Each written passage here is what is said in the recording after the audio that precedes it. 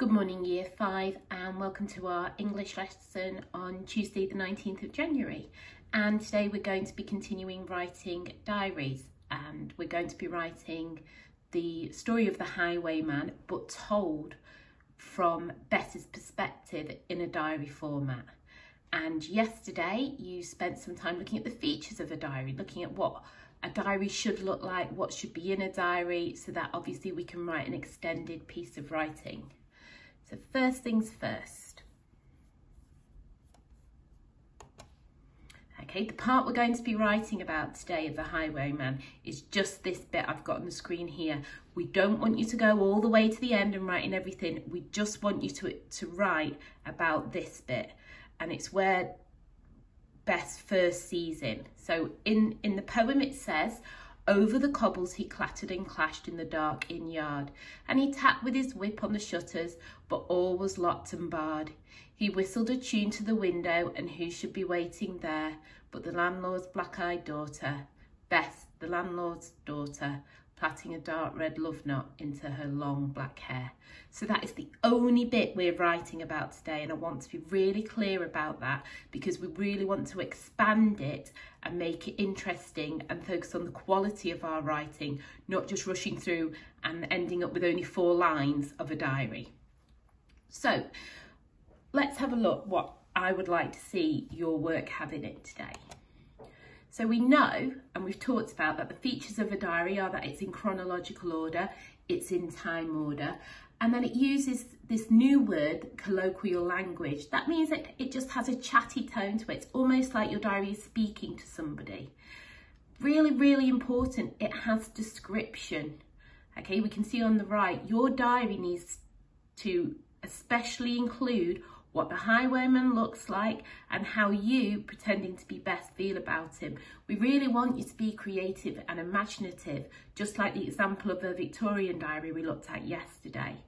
We want you to write in the past tense and we want it to be written in first person and we know that just means using I and my.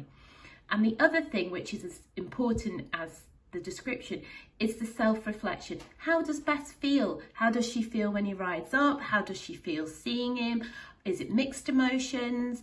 And that will help us write um, a good amount of a diary rather than just saying what happens and you end up with only a few lines. So it's what I've done is I've had a go myself um, and this is my example and then I'm going to show you some of the good things in that example and then you can have a go at writing your own. So, dear diary, so today was really exciting. I can't wait to share it with you. Firstly, I want to tell you that my love came back today. It was a lovely warm day and all was quiet out when I heard the clatter and clash on the inn yard. Surprised at the noise, I looked out and was shocked to see him riding up. Expertly, he rode up on a magnificent, majestic brown horse. His cape was red like a flame flowing out behind him. He wore a hat on his head made from the finest fabric, and his wonderful warm brown eyes were hidden behind a mask. He was a whirlwind arriving at my window, whistling to grab my attention. Embarrassingly, I could hardly speak. I was so happy to see him, but also nervous. I was worried somebody might see him and report him to the King's men, and that could be disastrous. Could you imagine if he was arrested? That would be awful. I was that nervous I couldn't keep my hands still, so I plaited my hair as we laughed and chatted just to have something to do.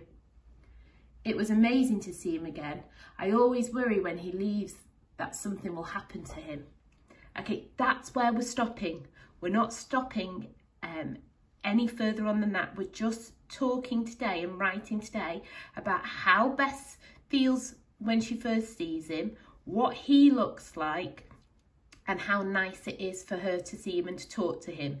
Just that small bit that we read together.